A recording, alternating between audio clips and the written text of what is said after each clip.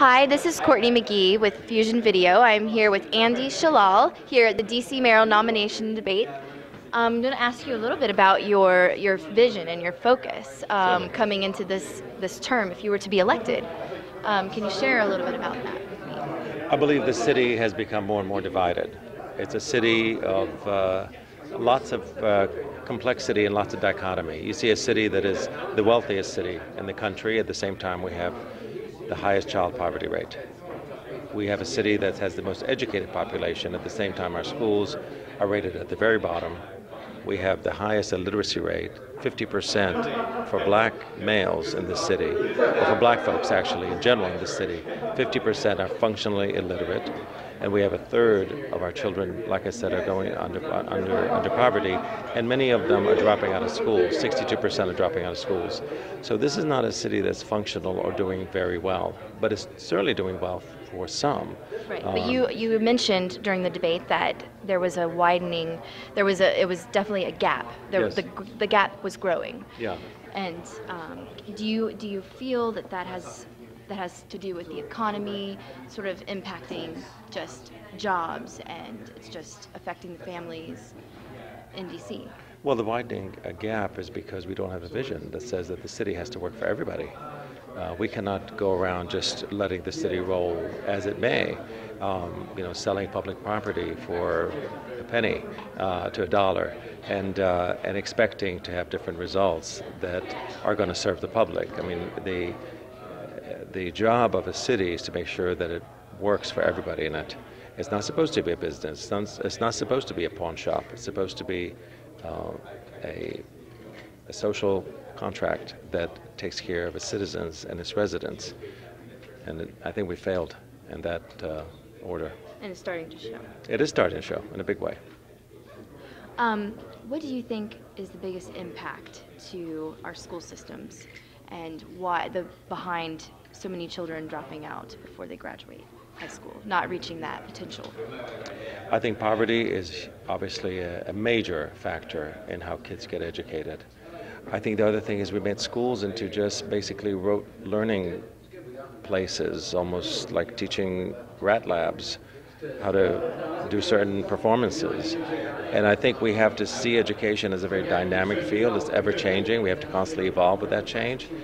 I think that um, we have to infuse more art and music and other ways to engage our kids other than just sitting them in a desk and drilling them with uh, questions and filling in the bubbles. Um, I do believe that uh, uh, we have to make schools more uh, interesting for our children so they don't drop out. I'd like to see us uh, even lower the voting age uh, to bring it into the high school years so that kids in their last year of high school can make that their civic year and get engaged at all levels spend the year at City Hall and talking in the Wilson Building and Become shadowing. Integrated. Uh, exactly, and shadowing their council member and making sure that they're accountable and asking them questions, tough questions. Keeping them on their toes. Absolutely, and I think young people can do that. You know, so I think there's many opportunities that we can do to engage our kids and get them to do better in school. I think we've just squandered some of those because we, we, we just don't have the vision. We're not focused on it. Um, what would be your biggest investment to the District of Columbia if you were to come in as mayor? Your biggest investment, what would be the most important contribution that you would have during your term?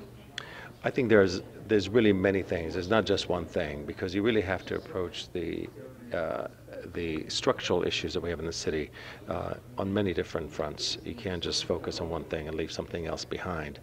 I think I would I would focus certainly great on the issue of poverty and how to alleviate poverty.